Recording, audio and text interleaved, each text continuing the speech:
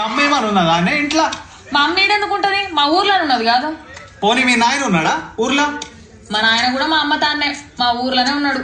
మరి నా ఈ పెవడ తోముతాడే?